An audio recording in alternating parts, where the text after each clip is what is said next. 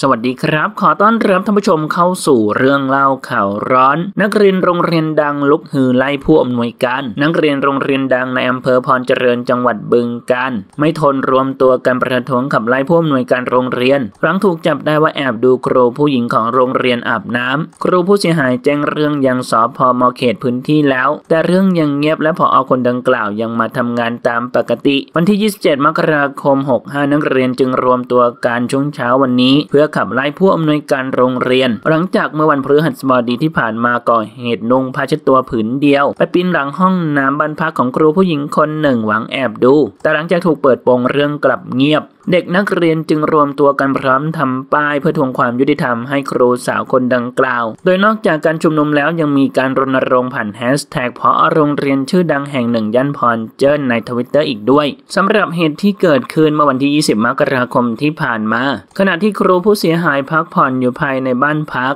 ก็ได้ยินเสียงดังกุกกักดังขึ้น เมื่อพยายามมองก็เห็นชายเดินอยู่ด้านหลังห้องพัก ด้วยความกลัวครูคนดังกล่าว จึงส่งข้อความแจ้งครูเวรเมื่อครูเวรมาตรวจก็พบชายนุ่งผ้าขนหนูผืนเดียววิ่งหายเข้าไปในบ้านพักของผู้อำนวยการที่อยู่ติดกันหลังเกิดเหตุครูได้โทรแจ้งความกับตำรวจ และเมื่อตรวจสอบกล้องวงจรปิดในโรงเรียน พบว่าชายที่ก่อเหตุนั้น เดินนุ่งผ้าเช็ดตัวออกมาจากบ้านพักผู้อำนวยการก่อนไปก่อเหตุและถูกครูเวรวิ่งไล่กลับมาเข้าที่บ้านพักผู้อำนวยการอีกครั้ง ท่านผู้ชมนะครับ มีความคิดเห็นอย่างไรกับเรื่องนี้ลองแสดงความคิดเห็นกันเข้ามาดูนะครับ ขอขอบคุณข้อมูลจากสยามนิวส์ขอบคุณครับ